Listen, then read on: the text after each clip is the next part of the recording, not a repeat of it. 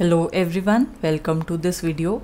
In the previous video we have talked about the product of projections and we saw that not in general every product of projection is also a projection. It is a projection whenever both the projections they commute with each other and in fact you could uh, generalize the results for many operators right so, so suppose you have t1 t2 t3 not t1 t2 t3 you could take them to be p1 p2 p3 and so on.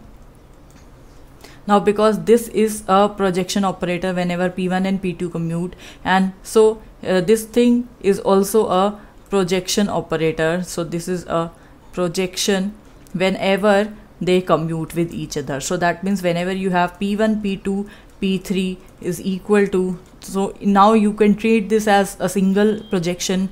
So this is, would be equal to p3 p1 and p2 right? And p1 and p2 they commute with each other. There is no issue. That has to be there right? So if that is there you could say uh, this triple uh, product that also is a projection right? Now let's talk about the sum of projections. So can we say that the sum of projections that is also a projection operator?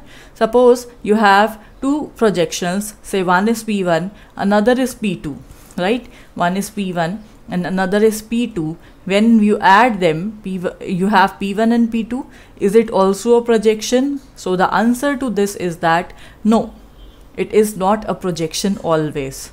So what are the conditions under which this sum of projections that form a projection so we have a result regarding this thing.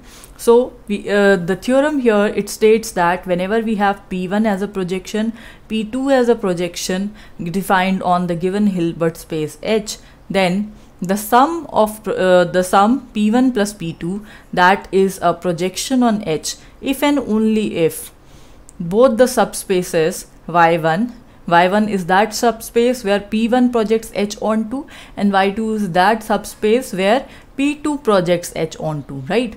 So you have P1 where defined from H to Y1, right? And you have P2 defined from H to Y2.